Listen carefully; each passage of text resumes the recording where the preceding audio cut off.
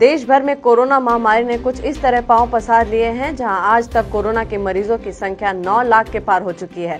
देश के प्रधानमंत्री ने हमेशा अपने भाषण में सोशल डिस्टेंसिंग का नारा दिया है।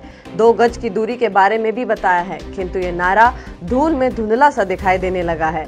क्योंकि जहाँ स्थानीय प्रशासन अपने अपने क्षेत्रों में सोशल डिस्टेंसिंग के नियमों को जनता पर लागू करते हैं। इसके बावजूद जनसाधारण पर इसका कोई असर देखने को नहीं मिल रहा है। इसका जीता जागता सबूत हरियाणा के सोनीपत उपमंडल तहसील में बुधवार सुबह ही देखने को मिला, जहाँ तहसील में लोग अपने अपने कागज़ी काम करवाने पहुँचे तो लोगों की भीड़ इस तरह जुट गई, मानो उन्हें कोरोना महामारी का कोई भय ही नहीं है। बता दें, सोनीपत जिला हरियाणा में कोरोना का गढ़ बन चुका है। आए दिन यहाँ कोरोना विस्फोट हो रहे हैं। तो अब सवाल उठता है, जब लोग तहसील पहुँचे तो वहाँ उन्होंने सोशल डिस्टेंसिंग के नियम बताने वाला कोई पुलिसकर्मी मौजूद नहीं था और तहसील में बैठे अधिकारी इस भीड़ को क्यों अनदेखा करते रहे?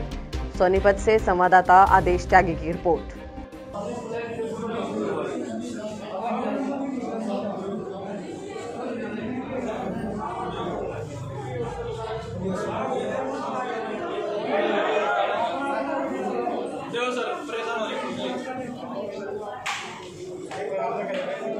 ताज़ा अपडेट्स व बड़ी खबरों के लिए सब्सक्राइब करें आज प्रकाश टीवी और बेल आइकन दबाना न भूलें।